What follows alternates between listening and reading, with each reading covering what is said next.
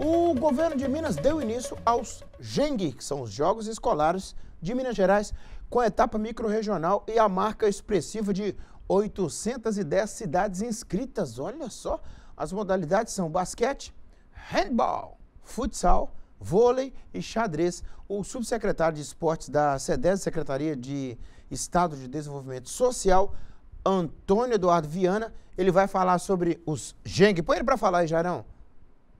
Os Jogos Escolares Minas Gerais é o maior programa social e esportivo do país, sendo realizado pela Secretaria de Estado de Desenvolvimento Social por meio da Subsecretaria de Esportes e em parceria com a Secretaria de Estado de Educação.